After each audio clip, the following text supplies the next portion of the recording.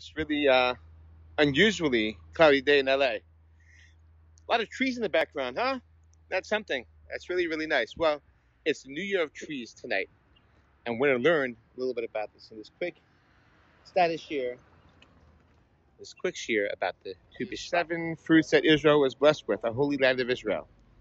And likewise, every Jew has all these seven different special produce.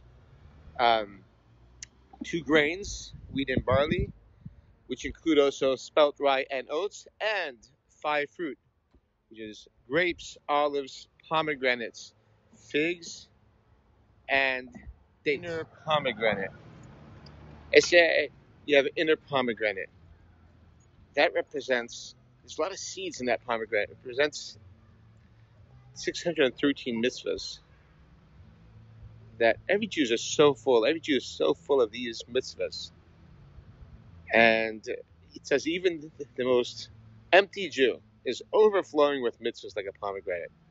Find that within yourself and find that love for every single Jew. And that's that sweet honey of the inner dimension of Torah, the secrets of Torah that you own. You own it. Every Jew really owns the whole Torah. So trying to get a bunch of trees in here. There's a lot of trees out here. Do you know that there's like this whole forest service in Los Angeles that they take care of the trees? Crazy. They know like every. Apparently, they know where every tree is. Anyway, God bless you, and that's the uh, your. You know when the olive gets crushed, that's when it brings out the oil. There's a time between it being a nice plump olive and it becoming some fantastic, illuminating, and warm-giving oil. That's a crushing moment. That's a crushing moment. Like between being an olive and oil, there's crush. The world is going through a big crush right now. Being zetzed. We want Mashiach now. Today. The olive is getting a little more time today. Olive also represents actually caring, actually giving a care about uh, what's going on with the Jewish people in the whole world. Like Miriam, the prophetess, sister of Moses, responsible for his birth, she really, really cared. She represents this this bitterness of the olive. I don't know if you know this because you get olives in the store probably, but olives are actually bitter before you process them. Pardon me, process them. Then they become nice and sweet olive oil. Grapes. Grapes are fun because you make grape juice out of them. People like me, we don't drink wine. Grape juice is just fine. Uh, that's a nice rhyme. So, the, the grape gives forth some sweet, sweet, sweet, sweet grape juice or wine. The Rebbe made a decree: do not get drunk. Now over 40, more than this, you have a few shots. I was there. The Rebbe said this is a decree, and no more than very small amount if a person can handle it. And what do we have that? Drain cleaning. It's exactly right. The figs. Figs leaves represents the first garments that Adam and Chava wore. And the garments of the person are our thoughts, our words, and our actions. We wear them on our sleeve.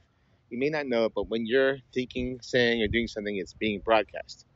So, when we care about and do carefully our thoughts, words, and actions, that's good.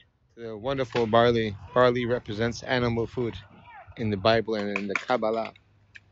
Gotta feed your animal. Gotta feed your kosher, indoor animal soul. Make a mensch out of him or her and give it some good barley, give it some good Torah that it can relate to. You know, it's easy to just broadcast to yourself, but when you get it, you actually get it. That's called some barley. You're barleying it. You're barleying it. Barley. Up to the wheat, chita. Chita is a medical value of 22, the 22 letters of the alphabet. That's a food for your neshama, your at your godly soul, which you have a godly soul, which is part of Hashem. Waiting for this moment for thousands of years. Not just because should come down here downstairs and just have some physical pleasure. Your soul waited thousands of years to get here, to be able to interact the body and the soul together. Do mitzvahs, bring Mashiach. We are the last generation of exile, first generation of Mashiach. Make this wheat dig for potatoes. You can dig and till that soil for the wheat, barley, egg, uh, grapes, figs, dates, pomegranates, olives. And you can go look for precious stones, for diamonds you see a diamond in the rough, it looks like a stone, a boring stone. You crack it open, you get a diamond. Also, the diamonds of the sea, those those pearls, the oyster, the little oyster.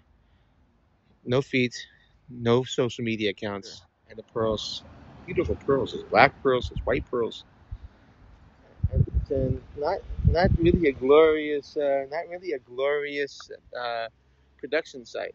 It's in the bottom of the sea. The bottom dwellers, they schmutz. Yiddish, we call it schmutz. But right there, that unlikely recipient of a fantastic, beautiful pearl is you. You know, just there's nothing to go on, just God. God gives you the pearl. In a pearl, in a diamond, it takes a little more strategy and wisdom and patience to to find those. You, you're doing like as you're doing with wheat and barley and the other plants. You're working land. Working with water and land. You're you know you're diving. You're you're, you're digging. But it takes a lot more time, energy, strategy, seichel, intellect. But it all takes trust in God.